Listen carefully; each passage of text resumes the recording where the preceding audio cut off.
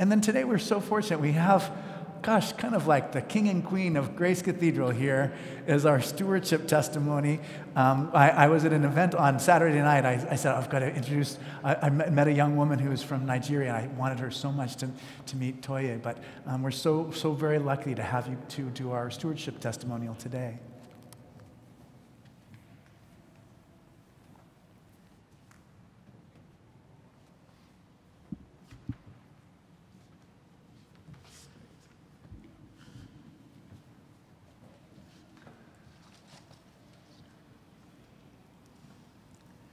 My name is Toye Moses. I have been a long-time pledging member of Grace Cathedral. When I moved here in 1974, I immediately found Grace and became an acolyte. I have grown up in Nigeria, in Anglican Church in Lagos, Nigeria, where my father served as a deacon. In 1980, Alma and I were married and the Chapel Nativity. As we celebrated our fourth, 40th anniversary in 2020, we received a beautiful prayer from our own very, very dear Malcolm Young. My name is Alma Robinson Moses.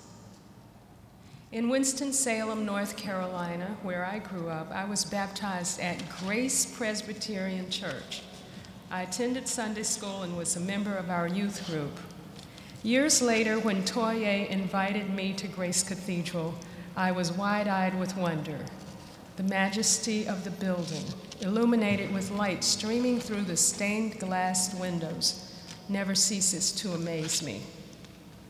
I was blessed to be a choir mom for seven years, and that brought me to church for Thursday evensongs as well as Sunday morning services.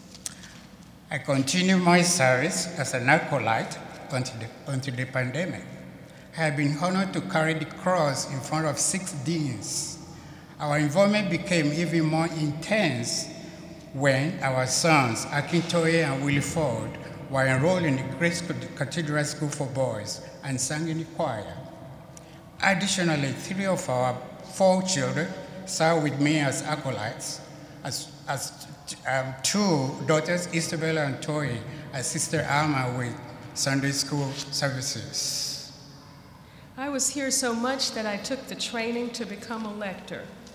After our sons went away to college, I joined the cathedral singers and became immersed in the glorious musical traditions of our church. I also began participating in the gatherings of Grace Women in Community.